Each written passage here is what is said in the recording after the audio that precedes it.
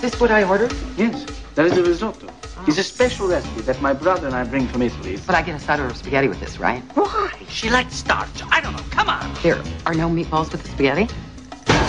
They were two brothers who came to America bearing Italy's greatest gift. To eat good food is to be close to God. I'm never sure what that means, but it's true anyway. They have a talent for cooking. no, wait. Cut the table. Now, all they need If you give people time, they learn. This is a restaurant, not a cooking school. is a recipe for success. Hey folks, it's Jim from the Rewind here to review the film Big Night, directed by Stanley Tucci and Scott Campbell. Set in New Jersey within the 1950s, the film takes place primarily on one night at an Italian restaurant where its owners, who happen to be two brothers, Secondo, played by Stanley Tucci, and Primo, played by Tony Shalhoub, are hosting a banquet in the honor of Louis Prima, the famous Italian-American bandleader who will be in town according to Pascal, owner of his own successful restaurant played by Ian Holm, who offers his help to the two brothers. Louis Prima. Louis Prima? He's a friend of mine. I make a call. He's in town next week.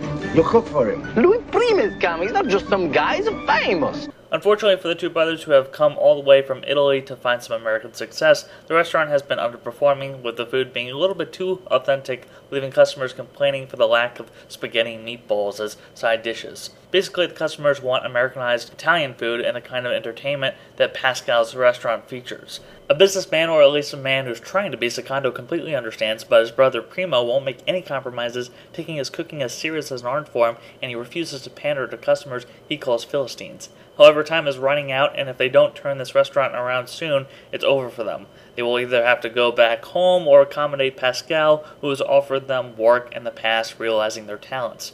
If Louis Prima takes a liking to Paradise, then maybe the restaurant can find a good word of mouth and go upwards. Their only obstacle Men, boys, is each other. My brother sometimes is too. Um, uh, come on.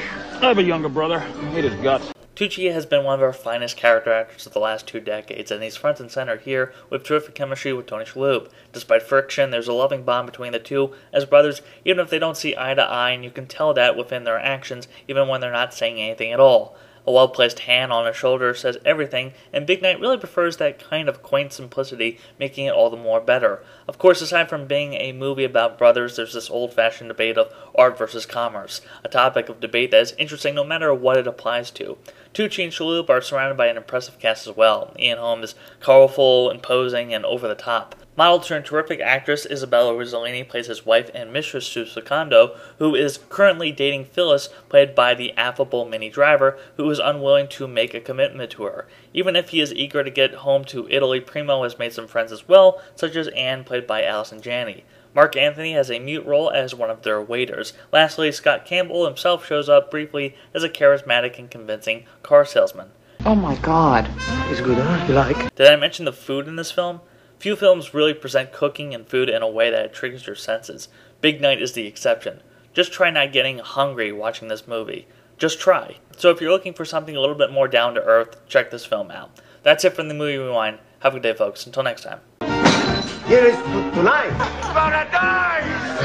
This fall, we guarantee you a night you'll never forget. Bite your teeth into the ass of life. Big night. Your table is waiting. Let's eat.